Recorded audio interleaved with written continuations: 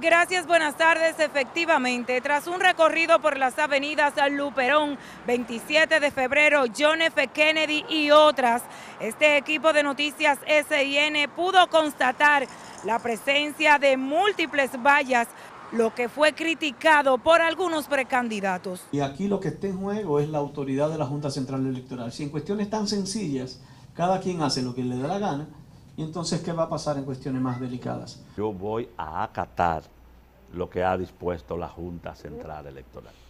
Y he estado llamando a mis amigos, estoy dando la instrucción de que deben de retirarlas.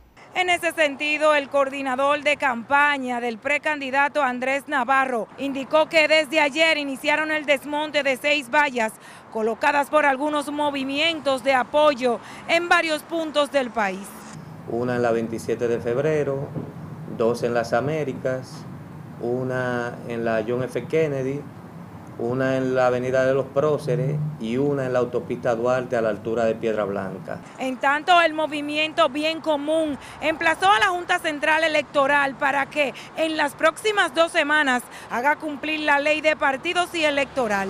Si no se retiran las vallas en 15 días, nosotros vamos a proceder a un recurso de amparo ante el Tribunal Constitucional para que la Junta se apegue a la ley y estos políticos mañosos también respeten la democracia. Se recuerda que fue el pasado jueves cuando la Junta Central Electoral dio un plazo de 15 días a los precandidatos para el retiro de sus propagandas. Es toda la información que tengo. Retorno con ustedes al set de noticias.